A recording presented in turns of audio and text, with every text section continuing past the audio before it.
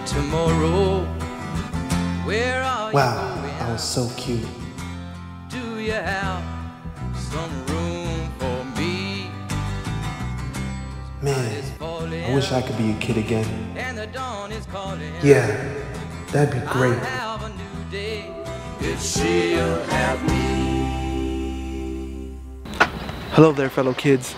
I know I'm a bit older, but I hope that one day you could accept me for one of your own. I bet. No. I thought you outlawed bullying. No. No. Not